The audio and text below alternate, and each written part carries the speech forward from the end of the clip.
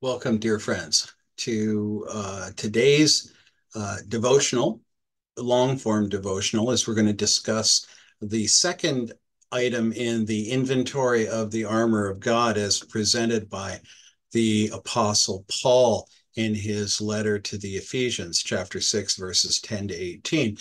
Yesterday, we discussed the uh, the first one, which is the belt of truth. Today, it's the breastplate of righteousness.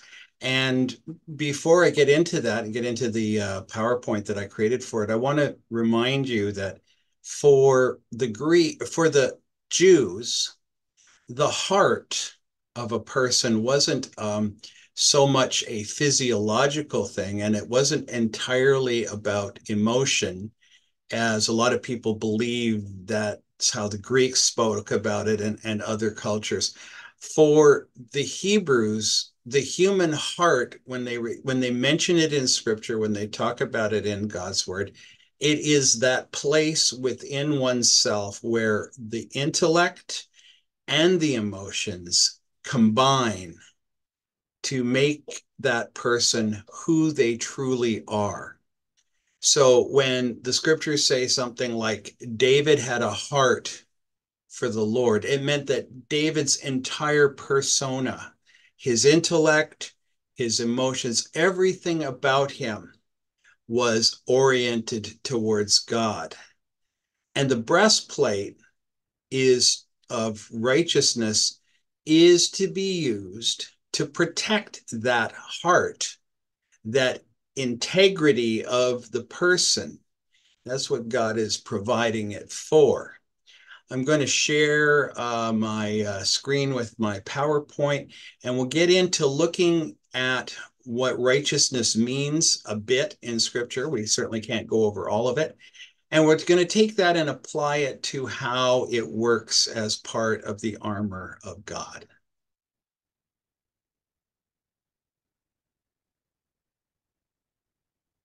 And I've actually begun this already. So what I'm going to do is back up to the beginning and uh, take us right to here. So this is the part that we're that we're uh, talking about now. This is uh, from Ephesians 6, uh, verses 10 to 14b. Stand therefore, having put on the breastplate of righteousness. And you notice yesterday I talked a bit about how the belt of truth was fastened. This is a putting on. This is an acquiring. This is a receiving and putting on. It's not fixing everything together. And, and because it's the kind of language that's used in this, in the, in the Greek, as Paul writes it, suggests that you are receiving something from God, from his armor, and you are to place it on yourself. It's not something that you built, it's something that he built. And, and the language reminds us about that as uh, we read through the passage. Now, I, there's a lot of different images you can get for a Roman soldier's breastplate or armor. Pardon me. And and it does it's obvious through archaeological finds and other things that Roman breastplates, Roman armor went through a series of evolutions as the Roman army became more and more sophisticated. What we see here is something that would have been mid-Roman, probably mid-Roman uh, or early Roman conquest time, around the time of Christ. The original breastplates may have only been hardened and multi multi-layered leather and those might still have been used for very very junior people uh, you know, some of the, as you advance, you got better armor. So this would be something more that on the lines of what uh, someone who at least had a platoon that they were responsible for. And it, it was made out of these plates that moved so that the person wearing it had a bit of ability to move and still the belt could be fastened around it to hold it in place should any of it sort of come loose. Uh, later on, and you may have seen images of looks like a solid breastplate that's been you know almost fitted or formed to the person those are very ornamental and and although they did exist that would have been later on and those would have only been for those of the most high rank completely bespoke and made exactly to their body shape and body type But for the for the purposes of our illustration, this is a completely surrounding breastplate. It protects the shoulders, it uh, protects the torso, protects the abdomen, protects you from the back, but it still allows movement. And that's the kind of breastplate that I very much think Paul had in mind when he wrote this passage in the letter to the Ephesians. And I think it was very much the breastplate that people would recognize and would have been thinking about in their minds as Paul gave us this illustration. Now, the word righteousness is what hangs on this. I mean, we understand what a breastplate is. We understand what it's for from a military standpoint, from an armament standpoint, but it's the breastplate of righteousness. It's not the breastplate of steel or the breastplate of chain mail or the, the breastplate of gold. It's the breastplate of righteousness. So we have to look into that word and as I told you, one of the best ways to start to get an idea of what scripture means when it uses certain words is to do a word study. So I've done a word study on righteousness, and it appears 272 times in the ESV translation of the Bible. And that's pretty close to the number of times that it appears in the original languages. And there's really only one word used in the Greek, and there's really only one word used in the Hebrew, and variations on those words. It really is only one word. Covers a semantic domain with meaning everything from what is right and good and proper to a person who is upright, to upright thoughts, upright deeds, upright actions, things that are that are righteous before God. One of the things that we talked about when we did this in our study is what does righteousness mean today and i think i think righteousness isn't talked about very openly in our culture these days because a righteous person in a outlaw motorcycle gang has a much different ethos than a righteous person, say, in a political party, or a righteous person who works for the uh, police department, or a righteous person who is part of a charity organization. I think righteousness uh, can be applied and twisted and turned to mean all sorts of different things. What we want to focus on, because we're we're doing this from a biblical standpoint, and as disciples, we want to know what righteousness means in God's word, which is why we're going to do this short word study today. Now, it appears a lot. 272 times is a pretty high word count. Uh, and that means that righteousness uh, the word itself and the idea itself is a important idea in the word of God. It's in uh, the Bible 187 times in the Old Testament. And interestingly enough, there were three, there's two books it appears in more at times than any else, and 59 times in the Psalms, often describing the character of God or the desire for the psalmist to be righteous before God and it's just it's in 48 times in Isaiah again often referring to God or referring to the Messiah because Isaiah's uh, got several prophecies about the Messiah.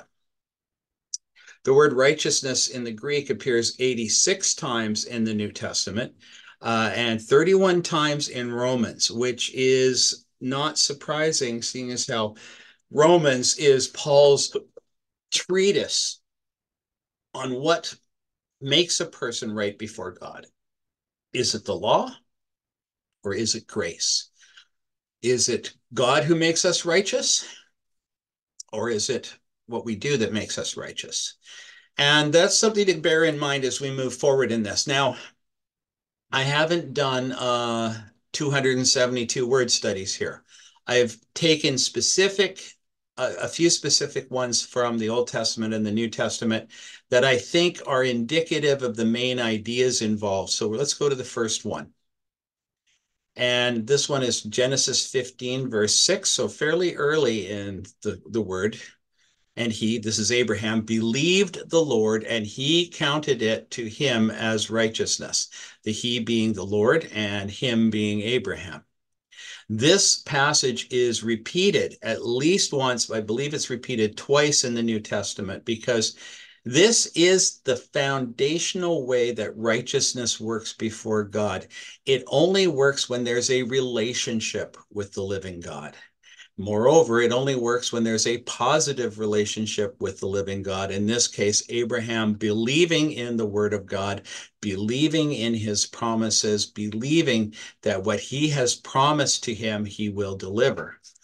So, right away, right out of the gate, righteousness has everything to do with God and everything to do with our relationship with God. And this is one of the key passages that defines that for us.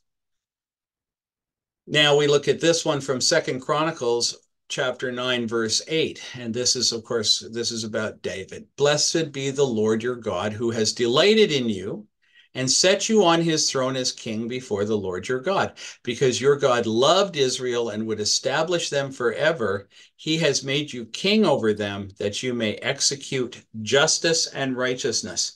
So, very also a big theme about righteousness in the Old Testament is that the king, the representative of God, the king of Israel, who is to reflect God, is to execute justice and righteousness. Not only are they to be righteous people, but righteousness is a thing to be done. It's not an abstract idea, it is a physical reality about how just and right and true and proper things should be. And the king, uh, God's king, is expected to act this way. And later, as Christ comes along, it's said about him that that is a big part of what he does when he interacts with humanity. God does not act in a capricious manner with us. He is not unfair. He is no, he doesn't uh, have higher levels of respect for some people over the other. Uh, scripture says it, it by saying he is no respecter of persons. God, God only, is the one who can treat everyone with absolute equity and fairness and justice and righteousness. And this is the kind of righteousness that we are going to talk about that's involved in the breastplate of righteousness and wearing it. He, God, judges the world with righteousness. He judges the people with uprightness. God is the judge. He's a proper judge. He's the righteous judge. He's the true judge. He's the one with authority to judge. If there is anyone who can judge, it is God and God alone. We're even commanded not to be judgmental towards others and not to judge others in a manner that is unright and improper. And a lot of times when humans make the call, when humans make the judgment, when humans make the discernment, it's not truly righteous. It has to do with things, other things that don't have to do with what is right and proper. A good illustration of that right now is what's happening at Harvard University, where the president of Harvard University was found to have cheated on her papers, particularly her doctoral thesis that elevated her to the highest levels of academia and ultimately was used as a springboard to make her president of Harvard. But she cheated, was unrighteous, and it wasn't upright.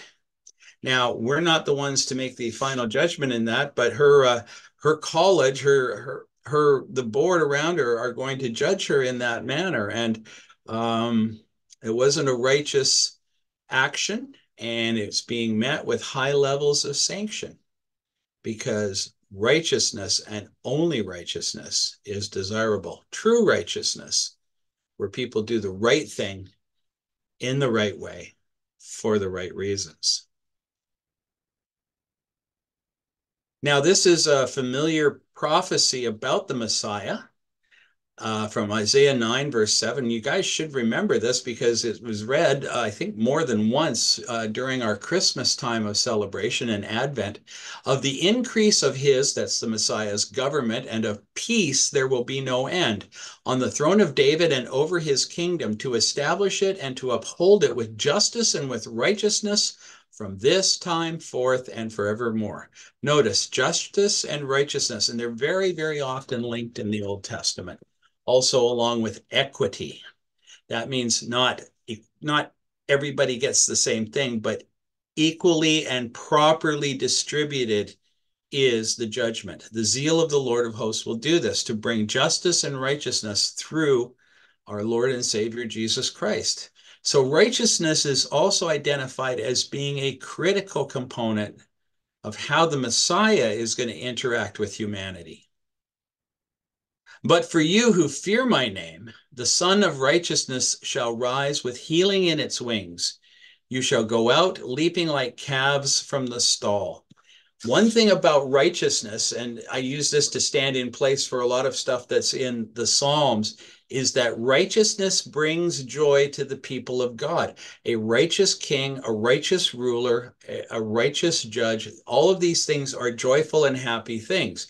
And when righteousness prevails in the world, we can't help but be happy because when we know that we're being treated righteously, when we know that only righteousness is the way, then we are secure, we are safe, we can live in peace and joy. And so the prophet Malachi suggests that uh, that relationship with God that we have will bring righteousness and heal the world, heal the land, and we will be joyful, leaping like calves from the stall. Now, I'm going to start off with a couple from the New Testament. And this one I preached on uh, when I started off with Matthew. This is, of course, in the Beatitudes. I'm going to give you two passages from the Beatitudes that mention righteousness. And if you remember uh, the teaching from that, this, this passage, blessed are those who hunger and thirst for righteousness, for they shall be satisfied, is two parts. The blessed word really means to be congratulated, to be held in high esteem are those who hunger and thirst for righteousness. Righteousness is a high value in the kingdom in the world today. It's something that all of the disciples of Christ, all the believers in God are to hunger and thirst for. We want to pursue righteousness. And pursuing righteousness is another theme that we see both in the Old Testament and the New Testament. We want to have right living. And God, there's a promise that goes along with the, the hunger and thirst and the pursuit of righteousness that those who want it will be satisfied by receiving it. This is a promise from Christ. So righteousness is not something that's out of reach. Righteousness is a key cornerstone value of the kingdom, and it's not something for the end times. It's not something for after God is finished with the world and makes a new world. It is for right now and pursuing that righteousness and upholding that righteousness and demonstrating that righteousness and living in that righteousness is all part of being disciples of Christ and following the way. Then Jesus says this just a few verses later Blessed are those who are persecuted for righteousness' sake, for theirs is the kingdom of heaven. Righteousness is not something the enemy is interested in. If anything, the enemy wants to destroy righteousness at every single turn because righteousness is like a bright light that shines on the actions of the enemy, shines on the ideas of the enemy, the philosophies of the enemy, the the ethics of the en enemy. Righteousness is this blazing hot, bright light that shows in bright relief just how wrong, just how evil, just how demonic the enemies of God are. And so we are to expect persecution as we live as righteous people before God, as we as we implore God to pass his righteousness to us, to give his righteousness to us, to protect us in righteousness, to uh, to keep the righteousness of Christ with us, which comes through our salvation. And this is going to draw fire. Again, uh, the attack will come because we're living righteously. But the breastplate of righteousness is also our protection. Even as much as it will attract attacks from the enemy, it is a protection against those attacks. For in it, the righteousness of God is revealed from faith for faith, as it is written, the righteous shall live by faith. This bookends the idea that we heard in the verse from Genesis about Abraham. Faith and righteousness are interlinked. Indeed, without faith, righteousness before God isn't even possible. And because righteousness can't really be earned, it can't be bought, it can't be traded for, um, no amount of sacrifice, no amount of human effort can produce righteousness in us. Scripture says there is no one righteous, no, not one. The only thing that can give us access to the kind of righteousness we need to be in relationship with God and to eventually enter into his glory is the righteousness that comes from Christ, the righteousness he bestows on us when we live in faith that his sacrifice on the cross is sufficient to wipe out our sin debt and present us as righteous before God.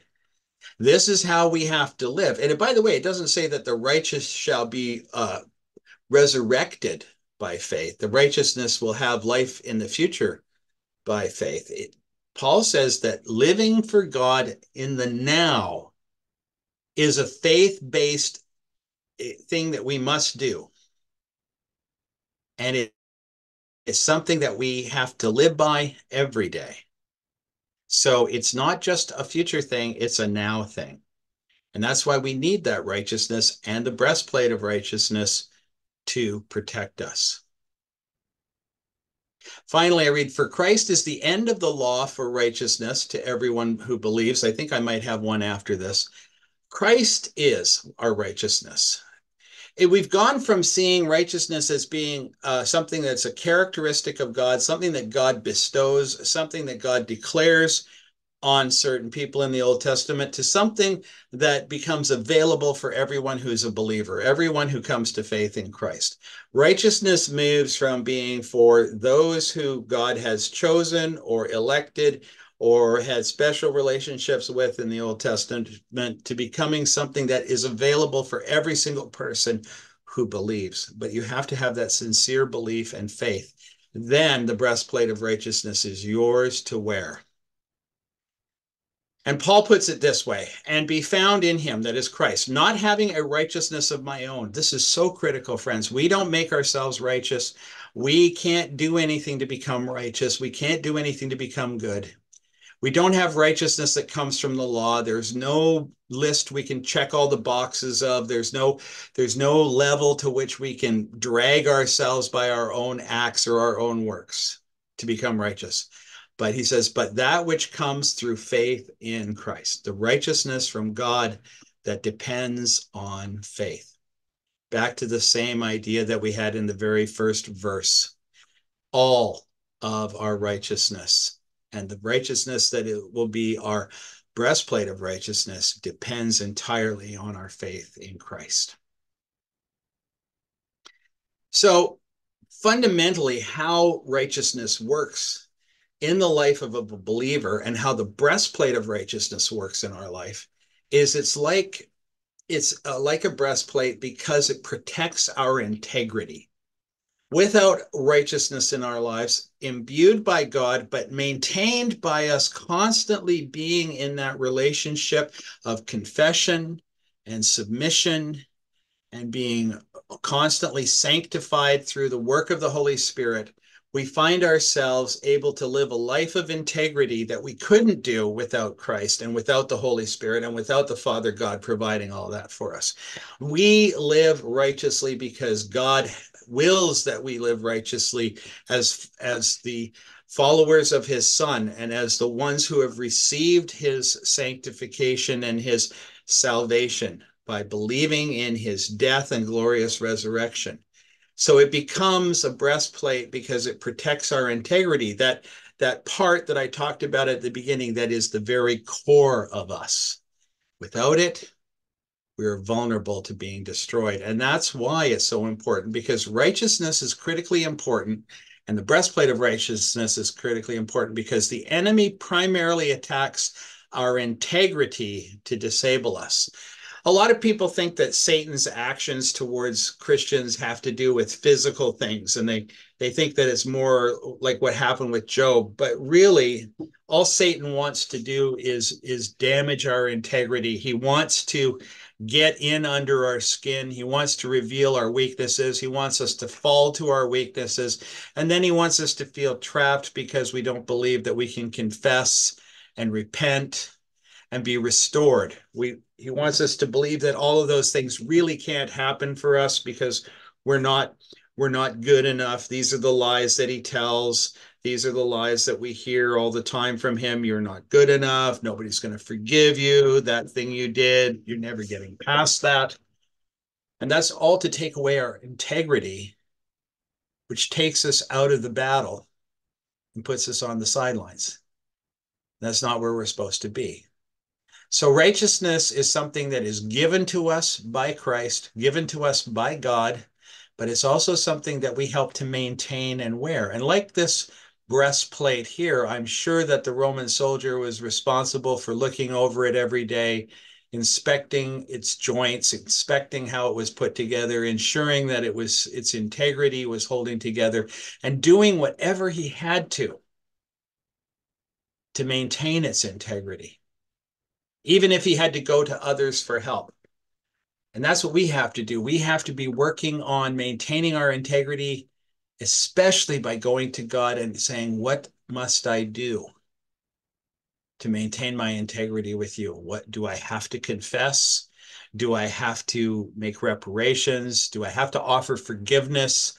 How is it that I am to to build up my faith in Christ to the level where my integrity for you, God, not for ourselves, for God, will be protected and maintained as we are involved in the Great Commission to spread the gospel and make disciples of every nation. So that takes us to the end of my uh, little talk on the uh, breastplate of righteousness. I think that gives you a really good idea of how righteousness is seen in Scripture, used in Scripture, written about in Scripture, talked about and I think it gives you a pretty good idea about why the breastplate of righteousness and being involved in maintaining that righteousness from our side by receiving what God has for us is so critical in this day. If you think about some of the great hits, I guess you could say, the difficulties, the, the damage that's been thrown at the church in our lifetime, a lot of it has to do with the damage of integrity of people who've been in leadership or other things. And first of all, we have to believe that that's not the end, that anyone can be forgiven, anyone can be restored, but better to be protected and not fall than to be careless and allow yourself to be taken out of the work that God has called us to. I pray this has been useful for you and that uh, it will help you as you are studying uh, through this passage and also as you're studying to be a disciple of Christ. And I look forward to uh, talking for you or with you, however this is working for you. I look forward to doing the one for tomorrow. Uh, and if you're down at the church tonight at seven o'clock, I'll be there to even do more detailed discussion if you want. Until then, go in the grace and peace and power and might and protection of the Lord in his righteousness. Shalom.